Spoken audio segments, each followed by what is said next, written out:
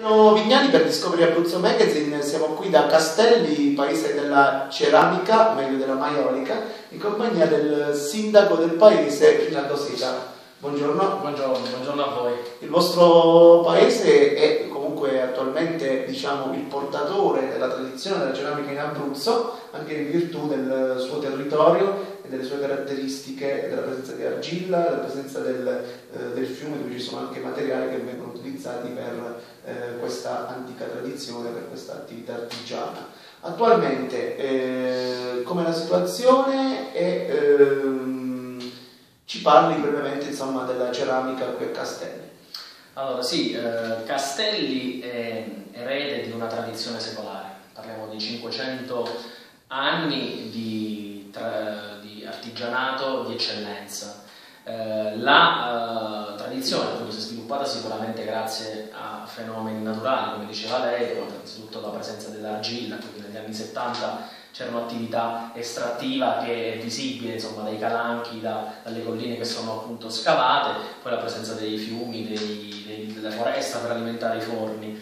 Quindi sviluppata questa arte, a testimonianza dell'eccellenza di questa arte, le, le ceramiche di Castelli sono presenti nei principali musei del mondo, l'Ermitage, il British, al Metropolitan, ovunque c'è una testimonianza di Castelli. Per l'appunto Castelli è eh, insomma, meritoriamente una delle principali centri di ceramica, noi facciamo parte dell'associazione italiana Città della Ceramica e insomma siamo riconosciuti tra i centri più importanti.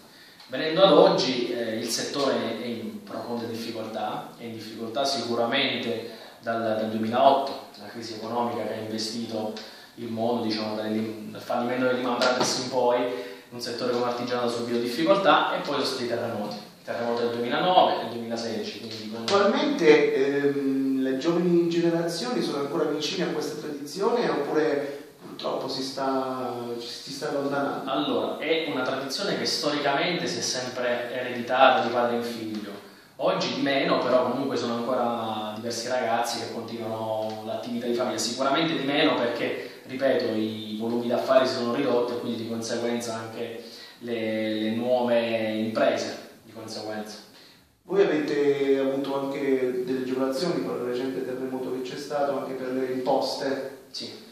Questa situazione adesso a breve terminerà questa, questo stato di, diciamo, di impasse e si rischia, per l'economia castellana si rischia il default, secondo me.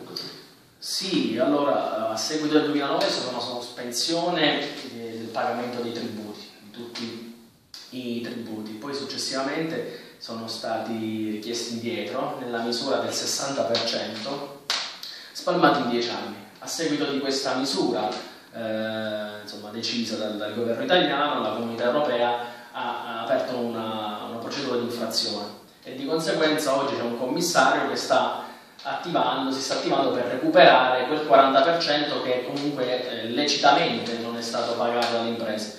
Questo rischia davvero di mettere in grande difficoltà un'economia che dopo tutti questi terremoti sta eh, orgogliosamente ma con molta difficoltà ripartendo rischia davvero di metterci in ginocchio. Voi puntate molto sul turismo, sul rilancio anche eh, tramite il turismo della vostra realtà.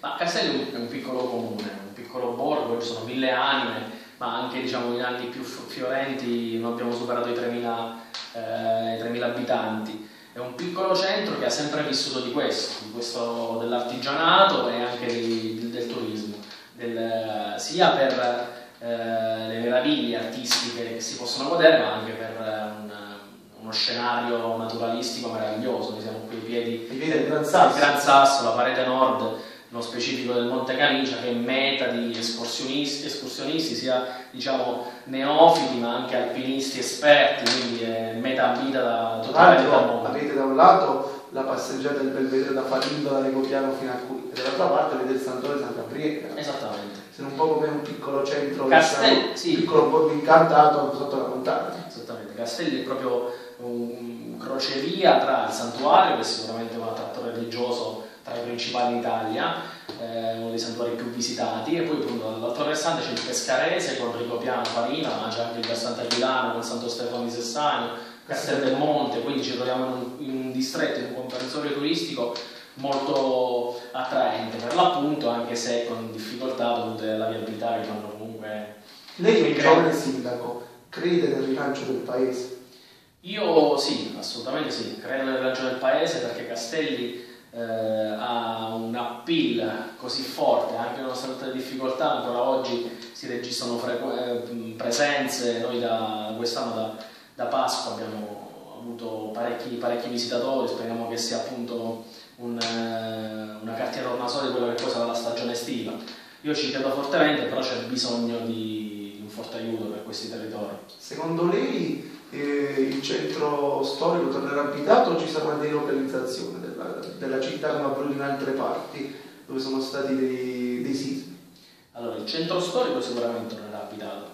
A seguito del terremoto del 2009 è stata una grossa discussione in paese, eh, sia politica ma anche civile, sull'idea di delocalizzare o meno. Eh, la, la, la, strada che si è percorsa, sia a livello politico-amministrativo ma anche cittadino, è quella di recuperare un borgo un borgo medievale, un borgo che comunque rappresenta la nostra storia e da lì vogliamo ripartire, cioè delocalizzare Castelli in altro, in altro luogo non avrebbe senso. Ringraziamo Rinaldo Seca da Cristiano Vignali tutto per Discovery Blues Magazine. Grazie, Grazie a lei.